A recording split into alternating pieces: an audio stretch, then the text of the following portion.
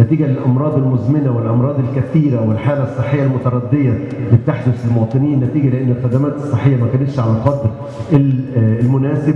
وبالتالي لما يجي السيد رئيس الجمهورية ويقول إحنا هنطور كل هذه الخدمات ويقول انه هندخل قرية مش هنخرج منها في حاجة ناقصة.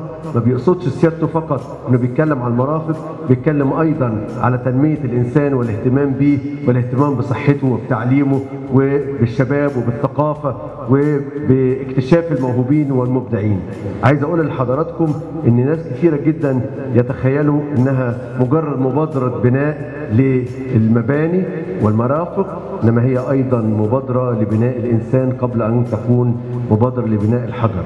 إحنا يعني زواج الأقارب له دور له دور هنا وبنقول لها خدي فوليك أسيد وبنقول لها الطعامي عشان الحصبه الألمانية وبنقول لها ما تقعديش كتير على ال social media لأن في دراسة وجدت فعلا القعده كتير بتسبب لنا الموضوع دوت. طيب نفسنا إن إحنا كل 1000 بيتولدوا فيها 8 دكتور عبلة 8 بيتولدوا عندهم مشاكل عيوب خلقيه في القلب. هيكلفونا كتير جدا. هنروح عندنا waiting list كبيرة عند أبو الريش ومستشفيات الحمد لله إحنا يعني حتى في المجتمع المدني عندنا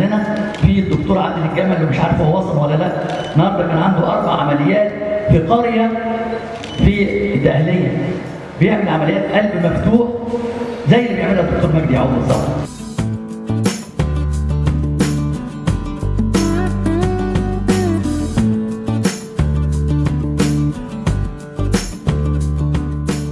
بشكر الدكتور علاء الغمراوي على هذه المبادرة اللي أنا بشارك فيها بشخصي وبمؤسسة ثروت للخير وبدأناها من الأتوبيسات اللي بتتحرك في كل مراكز محافظة الغربية.